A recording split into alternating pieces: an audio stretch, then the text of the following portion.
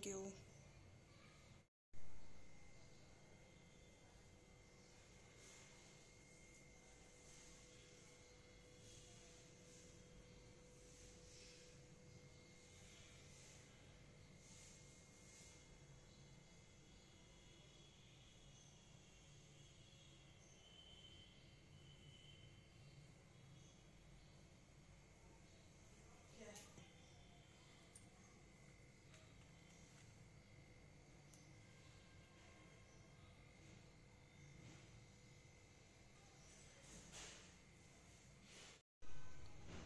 आज हम बनाने वाले हैं राजगरे और सिंघाड़े के आटे का पराठा। ये उपास में खाया जाता है।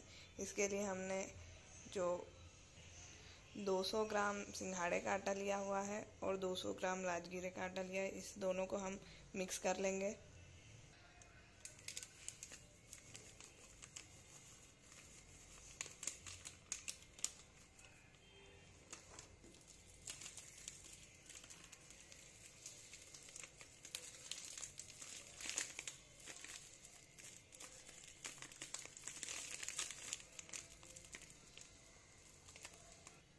इसे हम अच्छी तरह से मिक्स कर लेंगे।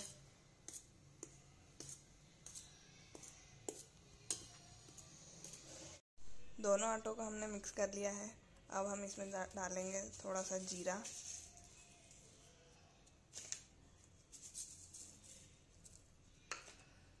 स्वाद अनुसार नमक।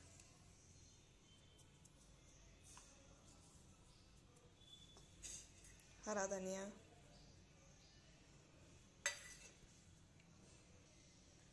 बारीक पिसी हुई हरी मिर्ची, ये आप आपके स्वाद के अनुसार डाल सकते हैं।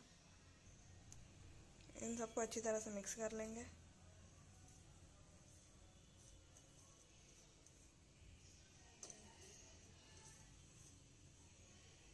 अच्छी तरह से मिक्स करने के बाद अब हम इसे गूँथेंगे। गूँथने के लिए आप छाछ का भी यूज़ कर सकते हैं और पानी का भी। यहाँ पर हम पानी का यूज़ कर रहे हैं। थोड़ा थोड़ा पानी करके थोड़ा थोड़ा पानी डाल के आटा गूँथेंगे। आटा गूँथ कर तैयार हो चुका है। अब अब हम इसके पराठा बनाना स्टार्ट करते हैं। पराठा बनाने के लिए हम पहले पानी लगाएँगे प्लास्टिक की पन्नी पर।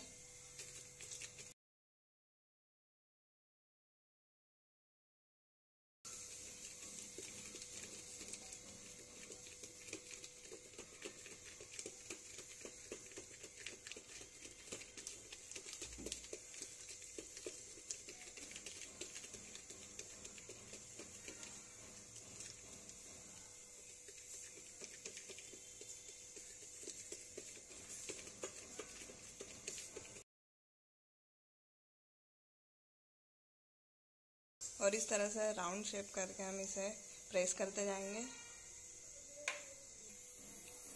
नॉन स्टिक तवे पर हम इसे घी से सेकेंगे।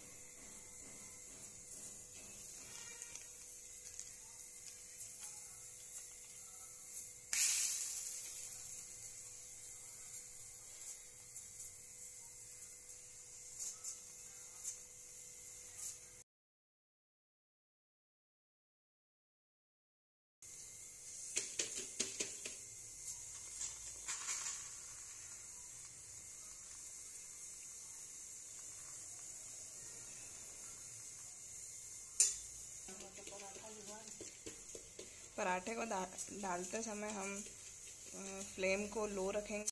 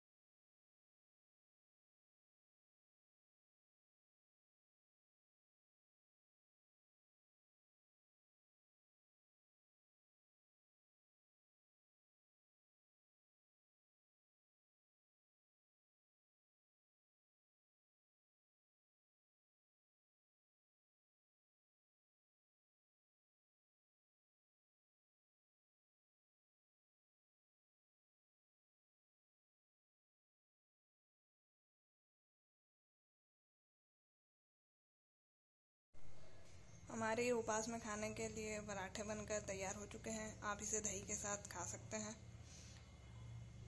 और हमने इसमें बाद में थोड़े से मूंगफली के दाने डाले थे, जो कि मैं वीडियो में बताना भूल गई थी।